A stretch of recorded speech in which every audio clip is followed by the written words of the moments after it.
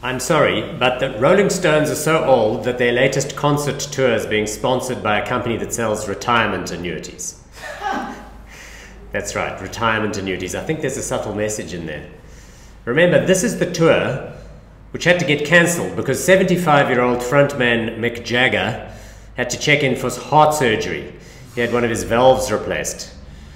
Well, I'm getting to thinking if this is the target market that advertisers are trying to reach, maybe their next tour to South Africa, which would of course be massively successful, could be sponsored by Avbob. Funeral insurance, you know, uh, death benefits. Their target audience here in this country, it would be perfect. Perfect. The Rolling Stones, brought to you by Avbob. Ooh, I see Nike, the company, is at it again. Listen, I'm a huge fan of Nike. Huge fan. Investor, run with the kit, love their advertising approach. In the last two weeks, they first of all pulled a set of shoes from China because, I don't know, something about the design might have offended somebody in the Chinese government or something. They pulled them. Then, in America, ahead of the 4th of July weekend, they pulled a pair of sneakers that had something called a Betsy Ross flag on the back of the heel. Now, I don't know, not my country. I don't even know how this stuff works, but the Betsy Ross flag has only got 13 stars in it, and it's something about the states that were in the first 13, and some of them were uh, pro slavery at the time, or some such thing. Anyway, they pulled it. The blunder here is not that they pulled the shoe. The blunder is that right wing conservatives in America are all getting triggered by this. Ah, they say Nike, its share price is going to go down. They better watch out. We're going to burn our Nike shoes. There's a Republican in Arizona who says he's going to lift or pull away or drop any tax incentives that Nike might have had to build plants in Arizona. Listen, Nike has this all figured out. This is how the marketing works. A, you're getting all that free marketing, everyone's talking about the company. And B, who buys sneakers? It's young millennials who are left wing by nature.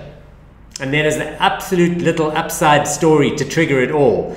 The shoes, the Betsy Ross shoes, which were pulled from stores, limited edition, only a few now available, selling for hundreds and hundreds of times more value on these second-hand sneaker investment sites. you know what? I like this EFF journalist scratching in the dumpster story. I know it's got some people a little bit exercised, but the Daily Maverick waited until this EFF Leadership Revolutionary Delegation, which had been staying in an expensive unit in the Camps Bay area for the State of the Nation address, they waited till they left and the staff brought all the garbage bags outside. Then they started scruffling through it.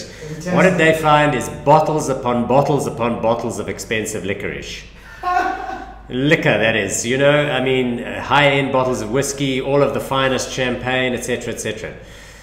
And in addition, of course, a couple of slips from H&M, which is the clothing store which the Red Berets trashed for some reason that I can't even remember. H&M.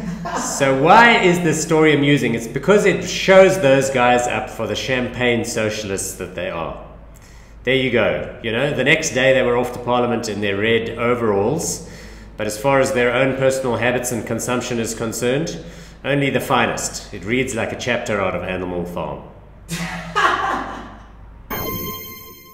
Finally, in news that will really seriously depress that EFF High Command, a Jim Beam whiskey factory in America, Kentucky, is on fire and destroyed 45,000 barrels of the finest bourbon. Wow. Ish.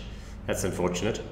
Well, apparently, I don't know how it happened, but the fire brigade, when they get there, couldn't even put the fire out because the barrels by then had been destroyed, and they didn't want the combination of fire engine, water, and whiskey to end up in the local river. So they basically just sat there, presumably having a draft or two, while the entire 45,000 barrels went up in smoke. Hmm. Sure.